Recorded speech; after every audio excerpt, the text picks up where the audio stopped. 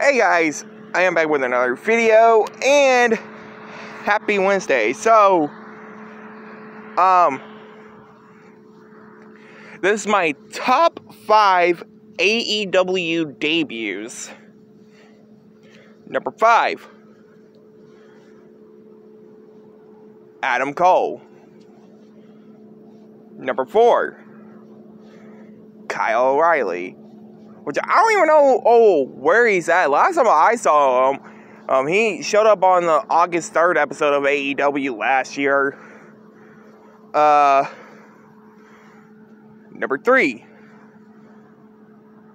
the Icon Sting. Number two, Bryan Danielson. And last certainly not at least, which uh, there was a rumor that I am going to pick this wrestler.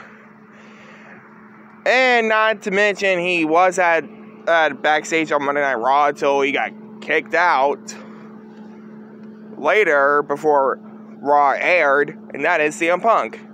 But anyway, guys, because like, comment, subscribe.